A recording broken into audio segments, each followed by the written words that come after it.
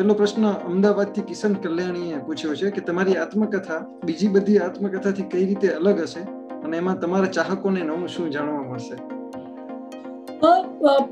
મારી આત્મકથા બીજા બધી આત્મકથાઓ જેવી જ હશે પણ મારી આત્મકથામાં મારી કરિયરની ઘણી બધી વાતો હશે. અને અલગ એ રીતે કે એમાં મેં મારી નબળાઈઓ વિશે વાતો કરી છે.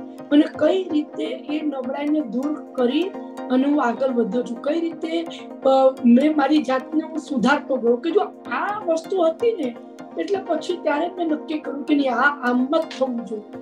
તો એ જે પ્રોસેસ છે કે સંજય ગોરડિયાથી ધ સંજય ગોરડિયા બનવાનો જે પ્રોસેસ છે ને, એ મેં એમાં દેખાડ્યું છે ને, એમાં મેં મારી નબળાઈઓની પણ વાત કરી છે. અને મારી સબળાઈઓની પણ વાત કરી છે ને કઈ રીતે મેં ભૂલ જે કરી હોય ભૂલને કઈ રીતે મેં સુધારી છે એની વાતો કરી છે. ઓકે વેન્ટિલેટર ફિલ્મના કોન્સેપ્ટનું રિયલ લાઈફમાં મહત્વ તમારી દ્રષ્ટિએ? જય મજેટિયા અંજાર કચ્છથી આ પ્રશ્ન છે. છે જ. તમે જોશો એટલે હવે એવું છે ને કે અમે તો કલાકાર છું હું તો કોમેડી કલાકાર છું હું તો કોઈક હોસ્પિટલમાં જાઉં કે કોઈ બેસાણામાં જાઉં તો મને તો કોમેડી જ લાગે છે. એસી વર્ષના બાપા ગુજરી ગયા નેવું વર્ષની બા ગુજરી ગયા હોય, અને પછી તમે એની પાછળ શોક મનાવો, મને નથી યોગ્ય લાગતું. એસી વર્ષે માણસ ગુજરી ન જાય તો શું કરે, નાચે? નેવું વર્ષના બા પથારીમાં પડ્યા હતા અને બૂમ મારે પેલા જગલા અને પાણી આપ ને જગલો આવે જ નહીં. તો આપણે શું છૂટ્યા તો સમજ્યા કે નહીં? તમારે આપણે ત્યાં છે ને ટ્રિબ્યુટ શબ્દ જે છે ને શ્રદ્ધાંજલિ આપવાની હોય. દિલીપ કુમાર ને મને એક વસ્તુ કહો દિલીપ કુમાર સાહેબ છેલ્લા દસેક વર્ષથી તો વેજીટેબલ જેવા જ છે. હવે એ ગુજરી જાય તો તમારે એની પાસે રડવાનું ના હોય. તમારે એમની યાદોને વાગોળવાની હોય. એમને જે કાર્ય કર્યું છે ને શ્રદ્ધાંજલિ રૂપે તમારે અમુક વસ્તુઓ કહેવાની હોય. બાકી શું અર્થ છે આ દેખાડાનો? એટલે હું હું. પોતે મારા બિલમાં લખી જવાનું છું કે મારા મૃત્યુ પાછળ કોઈએ શોક સભા રાખવી નહીં. આ હું પૈસા અલગથી મૂકી જવાનું છું. બધાને દારૂ પીવડાવવાનું, જમાડવાનું અને બધાને કહેવાનું કે સ્ટેજ પર આવી અને મારી બુરાઈ કરો. કારણ કે આમ તો પીઠ પાછળ કરવાના જ છે. સારું થયું ગયું. મારે બાકી હતા. તમને કોઈકને ઉધાર માગ્યા હોય, કોઈને તમે આપ્યા ન હોય ને એટલે એના માટે તમે ખરાબ થઈ પછી તો પીઠ પાછળ તો લોકો કંઈ પણ બોલે તો એટલે કહેવાનો મારો મતલબ શું છે કે મૃત્યુને આપણે ઉજવતા નથી શીખ્યા. આજે પણ મૃત્યુને એટલે કે પંચોતેર વર્ષ પછીના કોઈ પણ મૃત્યુને ઉજવવાનું એવું મને લાગે. કોઈ તારો જવાન જો દીકરો ગુજરી ગયો હોય, તો એ શોખની વાત છે કે યાર બહુ ગમગીન વાત છે. પણ પંચ્યાસી વર્ષના દાદા ગુજરી જાય એમને ધીર ગંભીર મોડા કરીને બેઠા હોય કે વેન્ટિલેટર, આજે વેન્ટિલેટર જે છે કોઈ જગ્યાએ વોટ્સએપમાં આવ્યું હતું કે સાલું આ દુનિયા એવી થઈ ગઈ છે કે કાચની પેટી વગર કોઈ જન્મતું નથી ને વેન્ટિલેટર વગર કોઈ મરતું નથી. અને આપણે શું કરીએ કે ઇમોશનમાં કે શરમમાં વેન્ટિલેટર કાઢી લો જો એવું બોલતા નથી. મેં તો એક નાટક બનાવ્યું ઉપર એના ઉપર. જય શ્રી કૃષ્ણ ડાર્લિંગ. જેમાં એક માણસ છે, એની પત્ની વેન્ટિલેટર પર છે અને એ ખૂબ પ્રેમ કરે છે. ડોક્ટરે વેન્ટિલેટર મૂકી છે. હવે આની પાસે પૈસા નથી.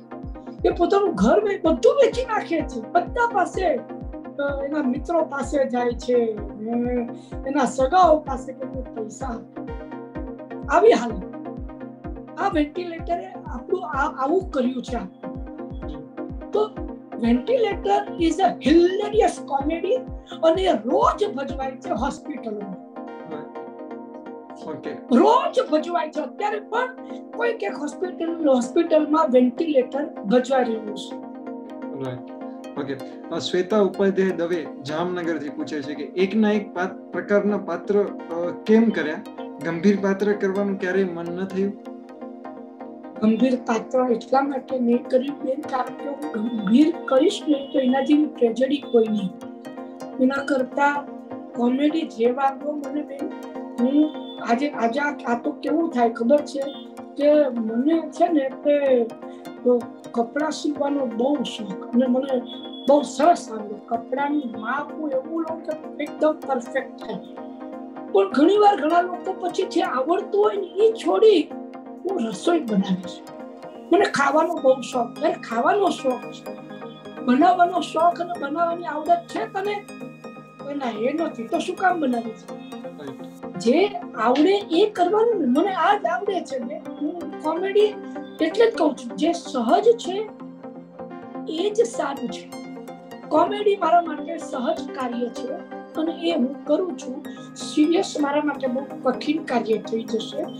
અને હું જે કરવા જઈશ તો ટ્રેજરી થઈ જશે એટલે હું કોમેડી જ કરું છું ને કોમેડી જ કરતો રહીશ. ઓકે કિંજલ બહુવા મુંબઈથી પ્રશ્ન છે કે મિડ ડે માં સંજયભાઈને નિયમિત વાંચું છું? ખૂબ જ ગમે છે. કેમ કે તેઓ પોતાની સફળતાની સાથે ભૂલ કે ખામીનો પણ સ્વીકાર કરે છે. પ્રશ્ન એ છે કે એવું કયું પ્રોજેક્ટ કે નાટક છે જે તેમણે ન કર્યું હોય અને એનો તેમને વસવસો આજ સુધી રહ્યો એ નાટક છે એક. બહુ જ પ્રખ્યાત નાટક છે જે મેં નહીં કર્યું એનો અફસોસ મને આજે પણ છે. અને એની વાત હું મારી આત્મકથામાં કરીશ કે એ બેનને કહેજો કે વાંચતા રે એ હું કહીશ. ઓકે. મહેશ રબારી અમદાવાદથી પ્રશ્ન છે કે સંજય ગોરડીએ નાટકો વધુ અને ફિલ્મો ઓછી કરી છે. આનો જવાબ આમ તો મળી ગયો છે મહેશભાઈને આપણે કહીએ. એમણે એવું પૂછ્યું છે આગળ કે સ્ક્રિપ્ટ સારી ના મળી કે નાટકો કરવા વધુ ગમે છે? ઓફકોર્સ નાટકો કરવા વધુ ગમે છે અને આ એમણે ઓલરેડી જવાબ આપી દીધો છે.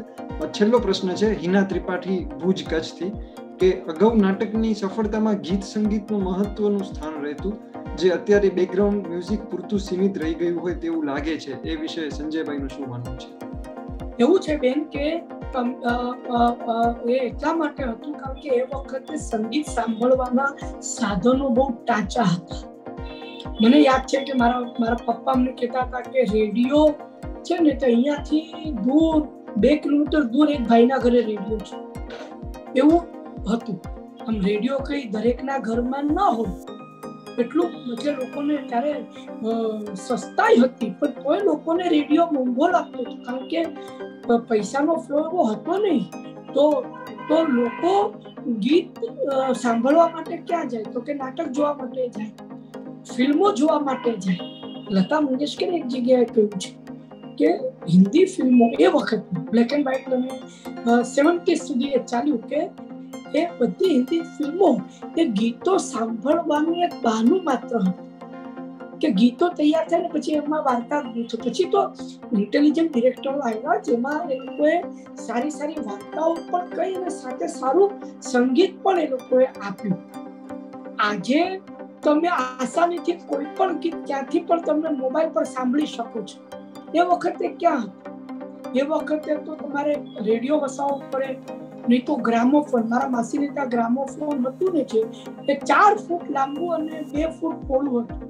હવે અમે લોકો રહીએ ખેતવાડીની રૂટમાં ત્યાં આટલું મોટું ગ્રામોફોન એટલું મોંઘું આવે, પછી ગ્રામોફોન વસાવી લો, એનાથી થતું નતું તમારે એની રેકોર્ડો તમારે બસ લેવી પડે તમારે. પછી રેકોર્ડ પર એમાં મૂકો અને એ સાંભળો તમે.